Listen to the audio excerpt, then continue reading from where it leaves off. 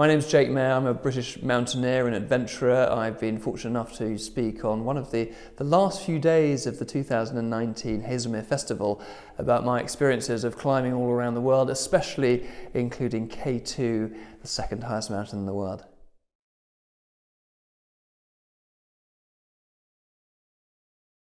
So K2 for me came up having climbed Everest when I was 21, thinking, what on earth do I do next? How do I top this? For a climber, K2 is, is often referred to as the, the gold medal of mountaineering, and therefore it became a real focus for me for, for over 10 years of my life.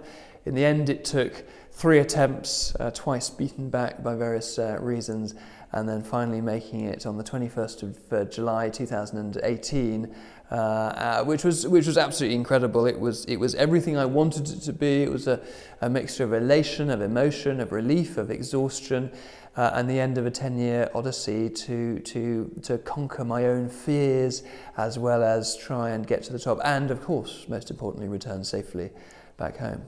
So one of the things that really made a difference for me on this, this third expedition was that I did all of my acclimatization on a different mountain rather than on K2 because K2 is so dangerous, so risky. And whilst I had an opportunity to try and summit this second mountain called Broad Peak, in the end I decided not to because it took me back to one of my learnings as a, as a young officer uh, in the Army Reserve about the first principle of war, which is the selection and the maintenance of the aim.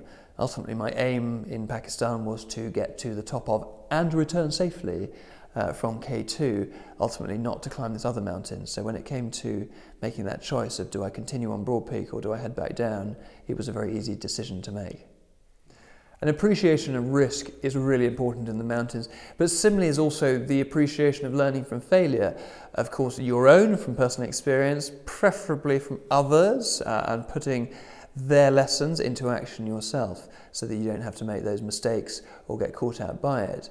I think trying to create an environment where you can be safe to fail rather than fail safe is key that you can you can make decisions you can make choices you can try things out if it goes wrong it doesn't matter rather than trying to wrap yourself in bubble wrap because otherwise there would be no point in trying to leave the house at all so, having climbed Everest, the seven summits, the highest point in every uh, state in America, and now K2, my next challenge is doing a little trip around Europe, trying to set a record for the shortest time to climb the highest point in all 50 countries.